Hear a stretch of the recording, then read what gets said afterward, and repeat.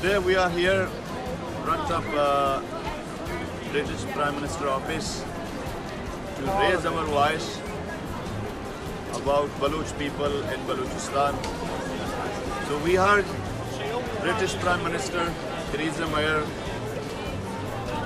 to intervene in Balochistan because Pakistani security forces, Pakistani military killing Baloch innocent civilian in Balochistan. So we urge British government and international community to intervene in Balochistan to ask Pakistan to stop human rights violation, military operation, abduction, killing and torture in Balochistan. Baloch people want independence. Baloch want their rights.